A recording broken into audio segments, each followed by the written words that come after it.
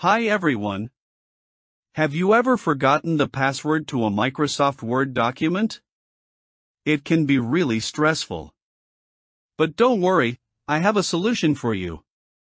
Today, I'll show you how to use an app called Passpr for Word to break a password on a Word document. I'll share a link to the software in the description for proof of concept only.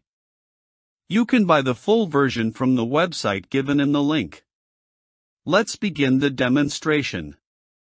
Step 1 Download Passpr for Word. First, you need to download Passpr from the provided link or the official website. Let's visit the link and download it. Once downloaded, install it following the instructions in the zip file.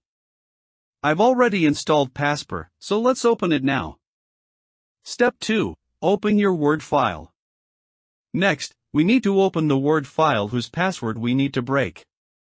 Don't worry, you don't need to have Word installed for this to work. Click the Word icon with a plus sign on the application, as shown, and open your Word file.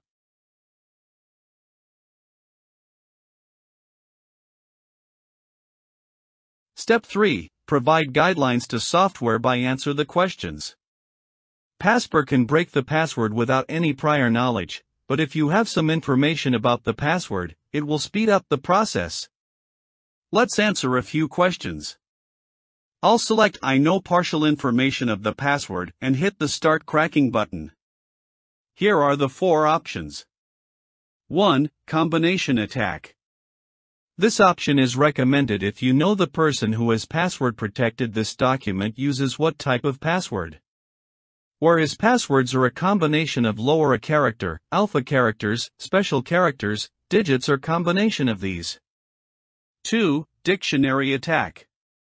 This will search password based on a dictionary words or from a given list of passwords, termed as a dictionary. You can list all possible passwords in a file and it can try those for you. Some dictionaries for common passwords can be downloaded from internet as well.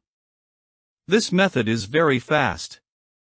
3. Mask attack.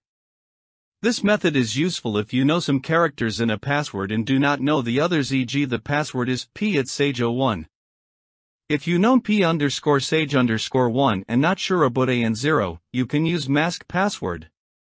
4. Brute force attack.